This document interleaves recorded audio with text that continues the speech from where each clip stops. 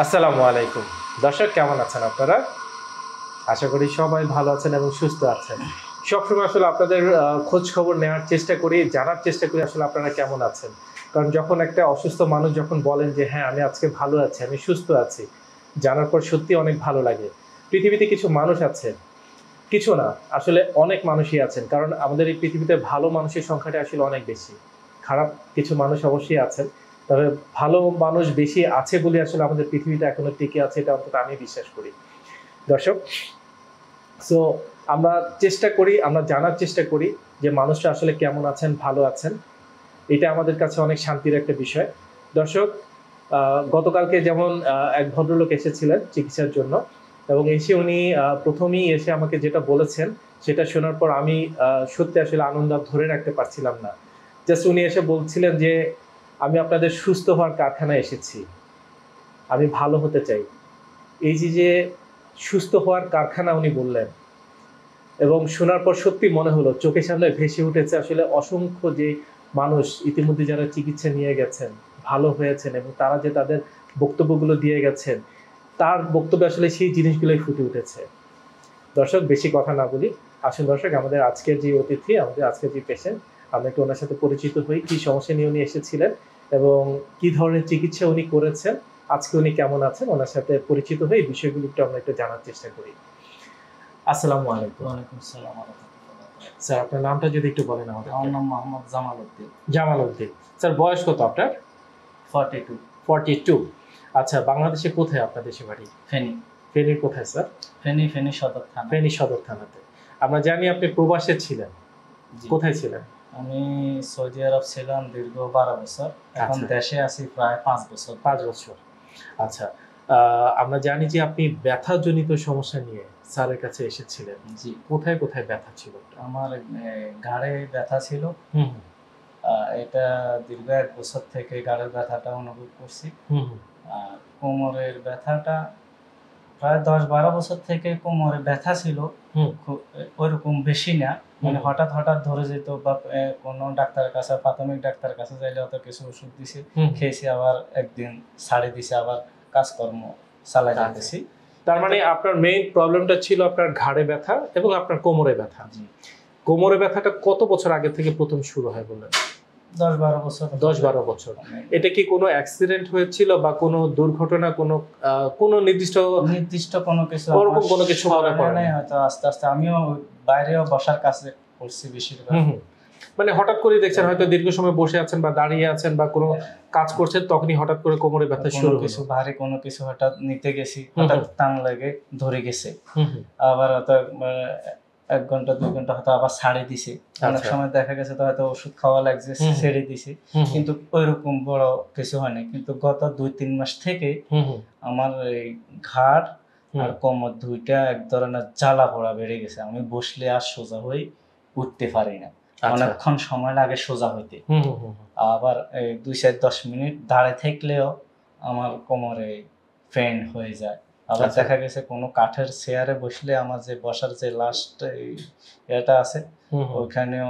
ব্যথা শুরু করে দেয় বা বসে থাকতে পারি না মানে কক্সিসেও ব্যথা শুরু করে দিত আপনার হ্যাঁ ওখানেও মানে বসে আপনি কাজ করছেন কিছু পরে দেখছেন যে আপনার হ্যাঁ। প্রচণ্ড রকম পেন শুরু হচ্ছে হ্যাঁ, তখন উঠে দাঁড়াতে গেলে আপনার কষ্ট হতো উঠে সোজা হয়ে দাঁড়াতে পারি না হয়তো আবার শুয়ে গেছি শুইলেও দেখা গেছে যে অনেক সময় কোমরে। ব্যথা জ্বালা এবং আমরা তো দেখি যে নর্মালি আমাদের ঘুমের যদি কোনো সমস্যা দেখা যাচ্ছে বালিশ বা অন্য কোনো কারণে বা একটু বাঁকা হয়ে যদি ঘুমাই আমাদের ঘাড়েও প্রচণ্ড ব্যথা শুরু করে এবং ওই ব্যথাটা যখন তিন চার দিন থাকে ওই ব্যথাটা নেওয়াটা আমাদের জন্য কষ্টকর হয়ে যেত। আপনার এই ব্যথাটা আপনি বলছেন যে গত এক বছর থেকে আপনার এই ঘাড়ে ব্যথা নিয়ে আপনি ঘাড়ে ব্যথার জন্য আমি একটা ডাক্তার দেখাইছিলাম। উনি কিছু ওষুধ দিছিল তখন এক্সরে করছে এক্সের মধ্যে যে ঘাড়ে হাড্ডি বাড়ছে উনি আমাকে এটা বলছিল। আচ্ছা। তো কিছু ভিটামিন ডি বা ক্যালসিয়াম জাতীয় ওষুধ দিছে। কিছু এক্সারসাইজ এরকম দেখাই দিছিল। কিছুদিন ভালো ছিল আচ্ছা। এখন দুইটা কোমরের আর ঘাড়ের দুইটা একসাথে হয়ে যাওয়ার কারণে মানে সীমার বাইরে চলে দেখা গেছে হাত দিয়ে কোনো কিছু একটা না দুই চার কেজি আর যদি ওজন হাতে নেই হাতটাকে এরকম মানে যে অবশ- অবশ হয়ে যাচ্ছে আগের মতো আর শক্তি পাচ্ছে না। ঘুমের সময় এদিকে ঘুমাইলে এ হাত অবস এদিকে ঘুমাইলে এ হাত অবস আচ্ছা। এরকম হয়ে যেত এবং অবশ্যই হয়ে গেলে আপনার ঘুমটা একটা সময় ভেঙে যেত। ঘুম ঘুম আসেই না। ঘাড়ের ব্যথার জন্য ঘুম আসে না। আর কোমরের ব্যথা তো আমি একদিকে কাইতে যাই ওইদিকে কাইতে যাই মানে কোনো দিকে শান্তি পাইনি আর কি। তার মানে এটা তো খুবই কষ্টকর একটা সময় পার দুই তিন মাস অনেক কষ্ট। আমরা একদিন দুই দিন না ঘুমালে আমরা অস্থির হয়ে যাই। সেখানে যদি আপনি এরকম মাসের পর মাস হয় সেটা তো আসলে অনেক কষ্টকর। অনেক কষ্ট। ঘাড় ব্যথা এবং কোমর ব্যথা এতটাই তীব্র আকার ধারণ করেছিল যে আপনি স্বাভাবিক কোনো কাজ আর করতে পারছিলেন না। তো স্যার যখন প্রথম আপনার এই কোমরের ব্যথাটা প্রথম যখন শুরু আপনি যেটা বলেছেন গত দশ বছর থেকে ব্যথা প্রথমে নিশ্চয়ই এত বেশি ব্যথা ছিল না অল্প অল্প ব্যথা ছিল না যত দিন। গিয়েছে দেখছেন ধীরে ধীরে বাড়ছে। তো যখন এটা লক্ষণীয় পর্যায়ে চলে গেল তখন চার মাসের ভিতরে মানে বেশি বেশি আকার ধারণ করেছে। এরপরে আমি একটা অর্থোপেডিক ডাক্তার দেখাইছিলাম ট্রেনিতে। আচ্ছা। কিছু এক্সরে এক্সরে করছে। বা এই যে এখানে যে ফিমেক কিউটেন জাতীয় এই জাতীয় কিছু ওষুধ টষুধ হুম। আর ভিটামিন ডি টি এগুলা দিছে আচ্ছা। খাইছি। কিন্তু কোনো উপকার পাননি? ব্যথা কমে। বরঞ্চ মানে দিন যাচ্ছে দেখছেন স্টপও হচ্ছে না একই জায়গায় সেটা আবার বেড়ে যাচ্ছে। হ্যাঁ, তিন মাসের মধ্যে এক দেড় মাস তো ডাক্তার দেখাই নেই। এরপরে দেড় দুই মাস ওষুধ এগুলা খাইছি খাই দেখছি কমেন না তখন আমি আর দেরি করি নাই আর কি। আমি আপনাদের এই যে ভিডিও দেখে। আমি ঢাকায় চলে আসছি আর কি। আচ্ছা। তার মানে আপনি যখন ডক্টর দেখিয়েছেন এবং দেখছেন যে কোনো উপকার পাচ্ছেন না বরঞ্চ আরও লাইফ অসহনীয় পর্যায়ে চলে যাচ্ছে কোনো কাজ করতে পারছেন না কারণ ইয়াং একজন মানুষ এখন হচ্ছে কাজ করার সময় উপার্জন করার সময়। এই সময় যদি আপনি নিজে অসুস্থ হয়ে পড়ে থাকেন আপনি যেটা বলেছেন দুই তিন কেজি আপনি তুলতে গেলেও আপনার হাত অসার হয়ে যাচ্ছে মানে আপনি শক্তি মানে পাচ্ছেন পাতলা না একটা জিনিস হাতে নিয়ে হাঁটতেছি হ্যাঁ হ্যাঁ। মনে হয় যেন হাতটা ঝিনঝিনি। ঝিনঝিন করছে মানে পুরো শরীরে আপনি কোথাও শক্তি পাচ্ছেন এবং কাজ করারও কোনো আগ্রহ পাচ্ছিলেন না। তো এই যে মাঝখানে যে ডক্টর দেখাচ্ছেন ওষুধ খাচ্ছেন এবং ধীরে ধীরে আরও অবনতি হচ্ছে ওই সময়টা কি মনে হতো বা কেমন ভাবতো ভাবতেন? যথেষ্ট মন খারাপ। এর ফাঁকে দিয়ে আমি বাইরে যাওয়ার জন্য একটা চিন্তা করছিলাম গত দুই আড়াই মাস আগে। এই ইউরোপের দিকে যাওয়ার জন্য একটা লাইন দিছিলাম আর কি। এরপরে চিন্তা করলাম যে যাওয়ার আগে নিজে একটু সুস্থ হইতে হবে। ডাক্তারটা আগে দেখাই আসি কি বলে দেখি আর কি। তখন এখানে আসি এমআরআই করাইলাম। এমআরআই করবার পরে তো স্যারে এগুলো এগুলো দিবার পরে তখন যেমন বলল আমার এল ফোর এল ফাইভ বা গাড়ির সমস্যা। তো আমি চিন্তা করলাম যে না তো মনে হয় আগে নিজে ঠিক হই তারপর বিদেশে যাই হুম, সঠিকভাবে কাজ করতে হবে যদি নিজে সুস্থ না হলে তো আমি ওখানে গিয়ে কোনো কাজ করতে পারব না। ফিরে আসতে হবে। ডাইরেক্ট ক্যান্সেল করে দিছি আর কি। মানে এত বড় একটা সুবর্ণ সুযোগ আপনি যাব না বিদেশে মানে আপনি- ক্যান্সেল করে দিছে। এখানে যা কদিন লাগে সাড়ে পনেরো ভর্তি দিছে। পনেরো দিন গেছে এরপর স্যারের সাথে আলাপ করছি স্যার কদিন আরও সাত দিন থাকো। বলে ওকে অসুবিধা নেই থাকব। যদি আচ্ছা। সাত দিন থাকলে আমার ভালো হয় আমি থাকব। আমি তো চিকিৎসা করাইতে আসছি। এটা আর কি। সো সেই প্রথম দিন প্রচণ্ড কোমর ব্যথা এবং ঘাড় ব্যথা নিয়ে ভর্তি হওয়া মানুষটি যেই মানুষটা ঘুমাতে পারতেন না ঠিক মতো এক পাশে ফিরলে আপনি দেখা যেত যে আপনার অবশ হয়ে যাচ্ছে। কোনো কিছু নিয়ে ক্যারি করতে গেলে আপনি দেখছেন যে আপনি হাতে শক্তি পাচ্ছেন না। আজকে কেমন আছেন আপনি? আজকে মোটামুটি অনেকটাই ভালো। যে পিঠে বা গায়ে কোমরে যে জ্বালা পোড়া ফ্যান। যেগুলা ছিল অনেক। এগুলো মোটামুটি অনেকটাই ভালো এক বুক আশা নিয়ে এবং অনেক স্বপ্ন নিয়ে আপনি ডিপিএসসি হসপিটালে এসেছিলেন এবং আপনি দীর্ঘদিন যাবত স্যারের ফলোয়ার ছিলেন। স্যারের বিভিন্ন ভিডিও কন্টেন্টগুলো আপনি সবসময় ফলোতে। রাখতেন দেখতেন সবসময়। এই যে একটা কনফিডেন্স তৈরি হয়েছে যে না ইনশাল্লাহ হয়তো সেখানে গেলে আমি সুস্থ হব। একবার গিয়ে হইল দেখি আমি মানে আমার এটা ইয়া ছিল এবং সেই যে স্বপ্ন নিয়ে আপনার আশা সেই স্বপ্নটা কি আপনার পূরণ হয়েছে? ইনশাল্লাহ মোটামুটি পূরণ হয়েছে। আলহামদুলিল্লাহ। স্যার আমাদের দেশে এরকম অসংখ্য মানুষ আছেন।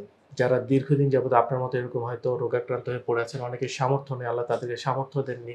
অনেকে আছেন যে সামর্থ্য আছে, তারপর হয়তো কোথায় যাবেন তারা বুঝতে পারেন না। সেই সকল মানুষদের জন্য যদি স্যার আপনি কিছু বলেন।